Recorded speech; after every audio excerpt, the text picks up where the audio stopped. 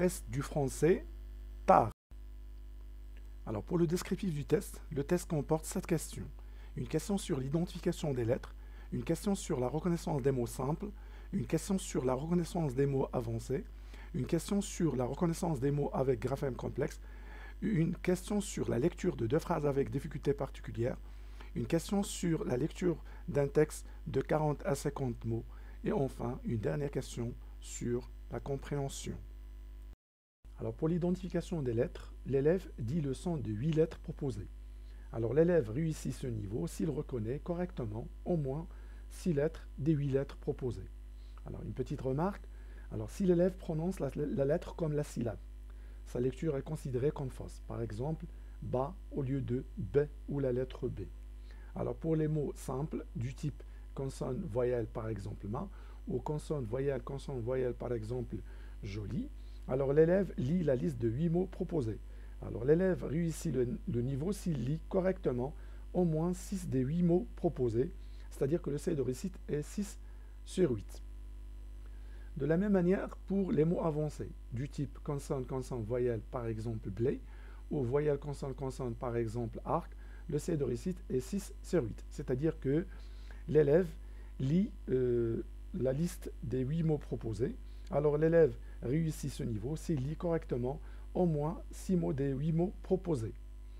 Alors, une dernière remarque, c'est que pour la prononciation des mots, alors l'élève doit prononcer le mot en un seul souffle, en entier. Alors, pour les mots avec graphème complexe, du type graphème voyelle complexe ou graphème consonne complexe, alors l'élève lit la liste des 8 mots proposés. L'élève réussit le test s'il lit correctement au moins 6 mots des 8 mots proposés, c'est-à-dire que le seuil de réussite est de 6 sur 8. Alors pour les phrases avec difficulté particulière, donc l'élève doit lire de façon fluide les deux phrases proposées. Donc les phrases qui présentent bien sûr des difficultés particulières, euh, par exemple des difficultés d'ordre phonétique, lexical ou mixte, bien sûr l'élève a le droit de commettre trois erreurs distinctes. De la même manière, pour la lecture d'un texte de 40 à 50 mots. Donc l'élève lit de façon fluide un texte de 40 à 50 mots. Il a le droit de commettre trois erreurs distinctes. Alors pour les erreurs du même type, ils sont comptabilisés une seule fois. Alors enfin, la dernière question concernant la compréhension. Alors l'élève lit les questions et choisit la bonne réponse parmi les quatre choix proposés. Alors l'élève réussit ce niveau s'il est bien sûr capable de choisir correctement la bonne réponse aux deux questions. Alors une petite remarque sur la lecture des questions à choix multiples. Donc c'est l'élève qui lit les questions et qui identifie bien sûr ses choix. Alors maintenant pour le déroulement du test, c'est-à-dire le scénario de passation du test. Donc d'abord il faut mettre l'élève à l'aise avant d'entamer le test. Alors pour les élèves de la deuxième année de l'enseignement primaire, alors le test commence par la reconnaissance des lettres. Alors donc si l'élève réussit ce test, alors il passe au niveau suivant. Là on parle de item réussi. Alors sinon, il suit le test dans le sens décroissant. Là on parle d'item échoué.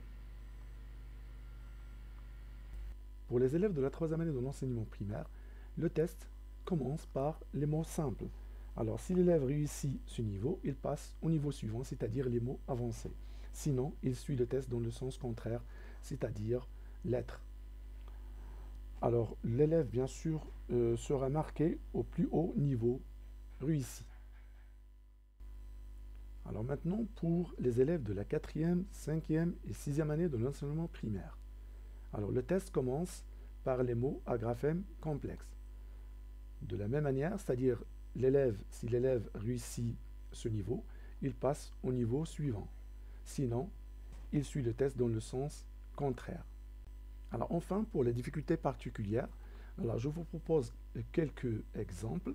Par exemple, omission des lettres château, cateau, substitution des lettres ma, na, confusion dans les sons F, V, B, P, T, D, S, Z, erreur de décodage, euh, la correspondance graphème-phonème, la finale ENT, euh, pour certains verbes, par exemple, ils partent, les verbes conjugués bien sûr, ils partent, donc ne se prononce pas quand il s'agit de la d'un verbe conjugué.